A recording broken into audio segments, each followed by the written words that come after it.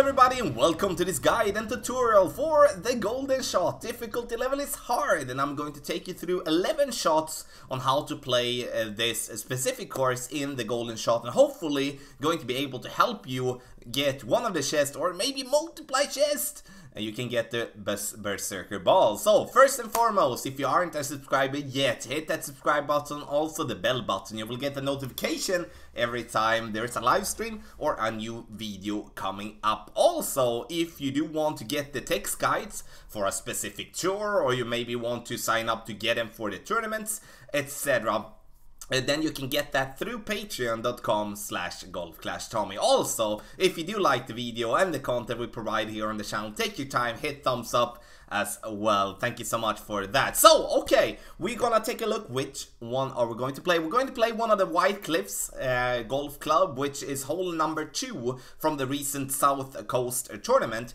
This is going to require a lot of downhill adjustment, which is going to be, of course, very interesting uh, because it's not gonna be that easy.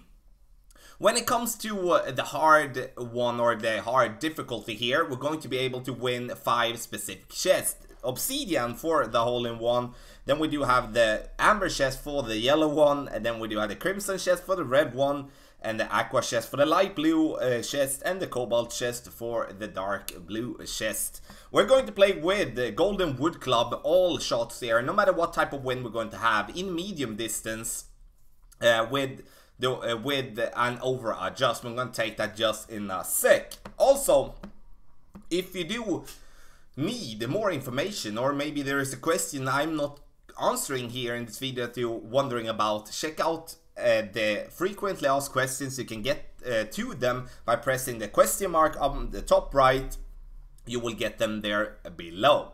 Okay, so when it comes to the adjustment here that we're gonna make, we're going to play, as I said, with the Golden Wood Club every single shot. Medium distance with a 30% over adjustment. For those of you that are using an application, that is pretty easy to add to the application. For those of you that are not using any type of help tool, or maybe just using your mind or like brain or whatever we can call it, then you plate 1.8 per ring. That's the same as medium distance with a 30% over adjustment. So you decide which one. Of course, I want to display both, and so it's not that you add it together it's each for their own. So either medium distance with a 30% over adjustment or you go with a 1.8 per ring. So we're gonna start uh, after this to take a look at some landing positions here.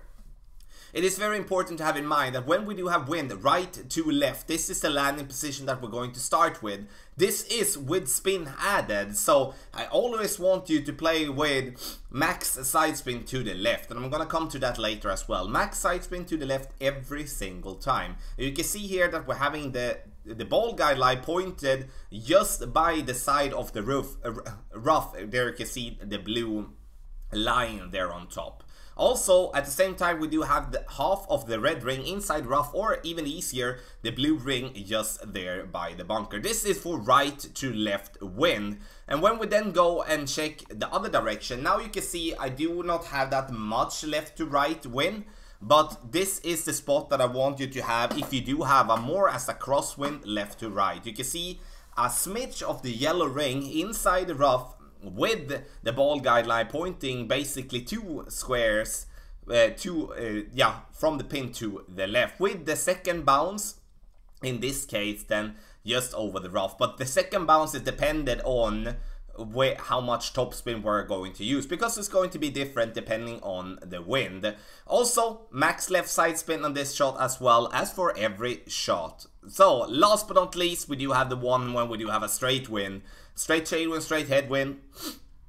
And then we're gonna go directly at the pin. Max side spin added to the left yellow ring just by the rough. So some slight tweaks when it comes to the landing position. And you know me, I don't like using a different landing position for for a different win. But here we need to tweak a little bit. The reason for that is that we're otherwise going to put ourselves too close or bouncing in the rough or bouncing into the bunker if we don't have that in mind. So, we're gonna start with the video now. Uh, and now we're gonna play with straight tailwind. I'm using max side spin to the left. With straight tailwind, I'm using one bar top spin only.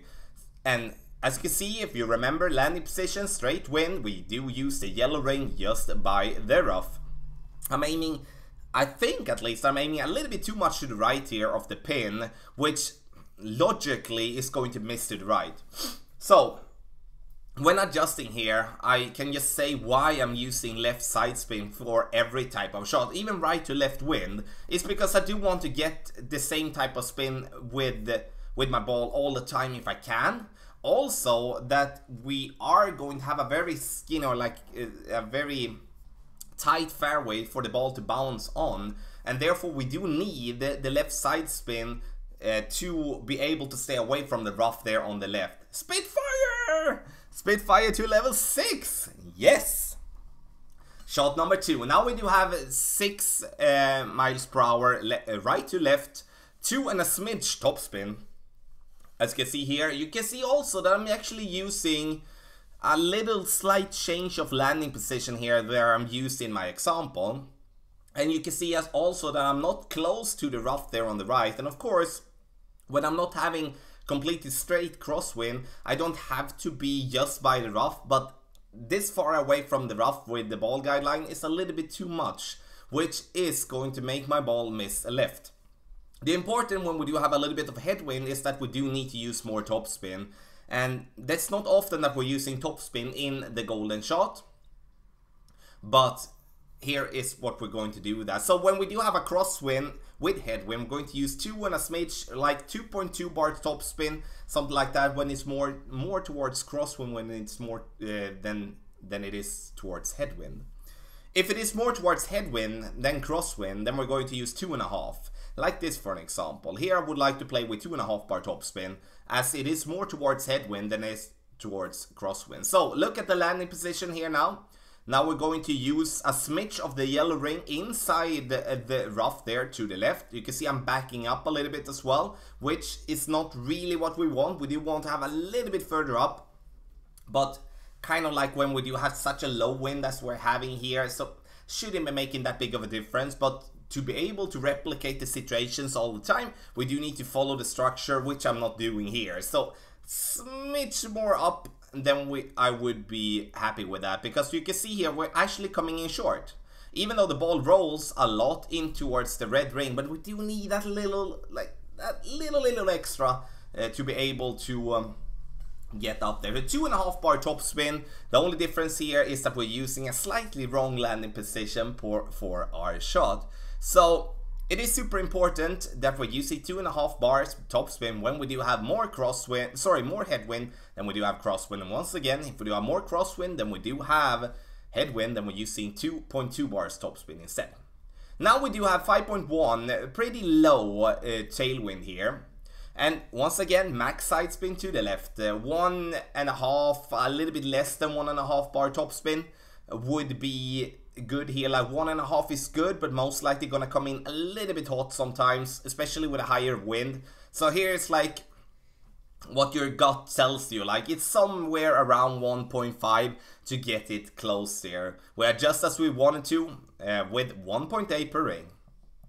We get it to bounce there and we roll, we roll, we roll. Once again, we're coming a little bit short and a little bit uh, much too much to the left. And I think at least when watching these one afterwards, I think I do kind of play this shot as we would be having much higher wind than we're actually having. So of course, if you do have like a 4 or a 5 mile per hour wind, and then you have a 7, of course that ball is going to react differently when it comes to um, like the speed the ball will have or like the, the less speed the ball will have in, in if so crosswind. So look at the now we take a look at crosswind here, right to left. I'm using too, uh, too little of the ball guideline close to the rough there on the right.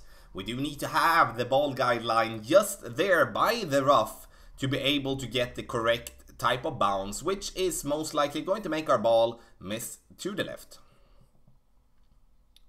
We get it to bounce, coming in here, but you can see here, it's a nice shot though. I'm not uh, taking away that, but was still a little bit too much to the left and once again a little bit short so we need to pump up that top spin a little bit there and just make sure that we're getting the correct landing position for, for our shot. 7.4. Now we do have a more as a stronger wind, so I'm going to use one and a smidge at 1.2 bar topspin, not really one and a half. Yellow ring just there by the rough as a start.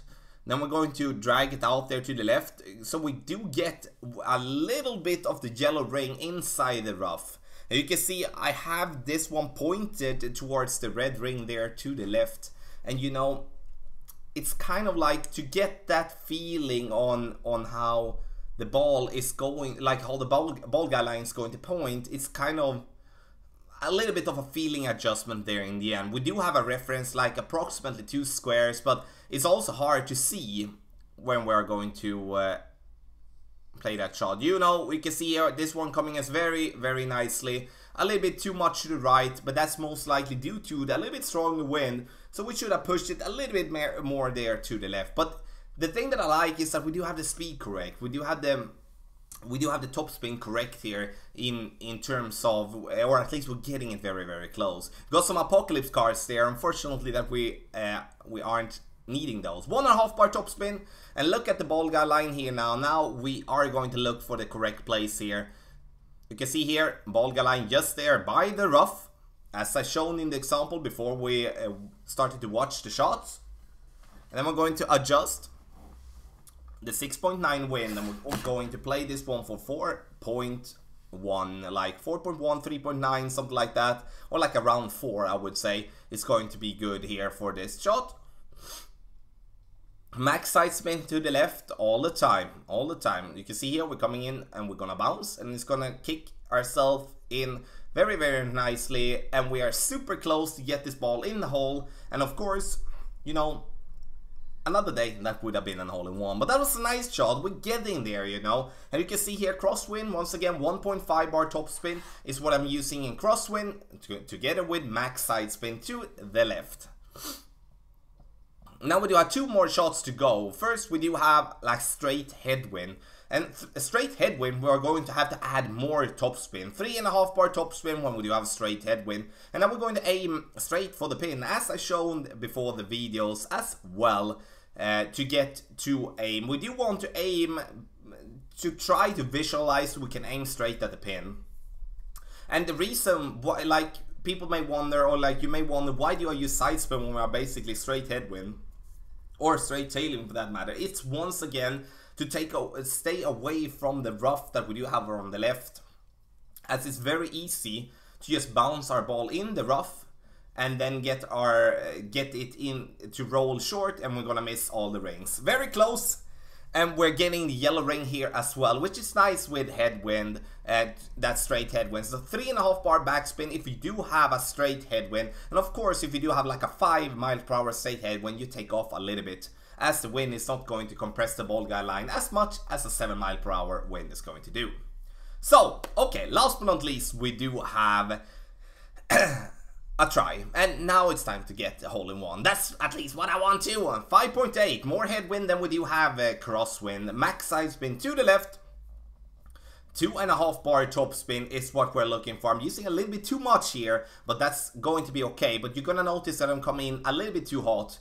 Now we're going to look for the ball guideline as well. We have the yellow ring just a smidge inside the rough there on the left with the ball guideline. Look here how straight it is towards like the inside of the left side of the red ring in terms of distance there. And then we're going to adjust our rings to uh, make it properly 3.2 rings and we're gonna hit it perfect and you can see I'm used like 2.7 in topspin 2.5 would have been absolutely perfect but I will take this as well even though we come in a little bit hot thought we had that one. Oh, I thought we had that one. But 2.5, we needed 2.5 there in uh, in top spin instead of 2.7. Super close though. We're getting it closer to the hole in one. And I actually thought that was gonna go in when I saw the adjustment. But now, okay, max side spin. And we're going to use two and a half bar top spin. Not two, not 2.7. But once again, I'm using 2.7 here. Why? Why? Once and we're looking for the landing position with the yellow ring just a smidge inside the rough there on the top, not much. And we can say now, as I missed there to the left, I try to get it more closer towards the pin, but still giving myself like a two square, one and a half, two squares to the left of the pin in terms of over adjustment. Max side spin as always, we over adjust the 30%. And we bounce. And we bounce. Can we roll this one? Coming in a little bit hot. But boom. We got it in the end. That was nice. So we got a hole in one in the end. This is going to be a tough part, uh, tough part three to make uh, make hole in ones on. But if you do follow the advice that I've given you here, all from landing position adjustment, then it's going to help you big time. I'm going to summarize here in the end. First, first, first. Medium distance with a 30% over adjustment is also 1.8 per ring. Same thing, you decide what you wanna, uh, how you want it to, to adjust. If we do have any type of wind, we go with as much left side spin as possible. We'll go max, like which is four and a half bars. Then we're going to apply in straight tailwind, one bar topspin. If we do have a tailwind slash crosswind, then we're going to play with 1.2, 1.3 bar topspin. If we do have a crosswind, 1.5 bar topspin, could be 1.7, uh, something like that as well, depending on like how the wind angle is going to be. You decide, but around 1.5 bar topspin minimum. Then we do have, uh, when it comes to headwind and crosswind, then we're going to play that one with two and a half bar topspin necessary due to the headwind there. And then when we do have a straight headwind, we're going to play with three and a half bar topspin. Of course, if the wind is going to be very low or very high, you know, you will have to adjust with your feeling a little bit and add or subtract the necessary spin. But the spin adjustment giving you is what I've been trying out, is what works. And even though we're going for the hole in one, we're going to work for being as close as possible towards the pin, because that is what bringing us a chest or two. Right to left, wind. Then we're going to use half of the red ring inside the rough there with the ball guideline pointing straight there at the rough or just inside there on the fairway by the rough. When we do have a wind left to right, even though we have a cross, like a tailwind crosswind, we're still gonna look for the same type of position with the yellow ring, just a smidge inside. You can see here that the blue line is, is to try to show and to visualize that we're going to have a little bit of the uh, yellow ring inside the rough there on top. With the ball guideline pointing around two squares to the left of the pin.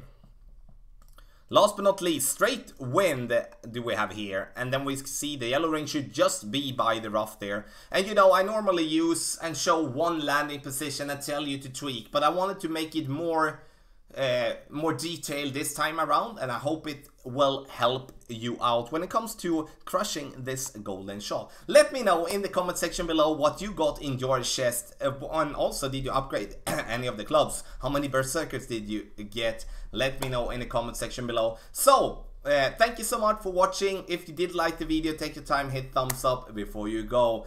So, good luck in the golden shot!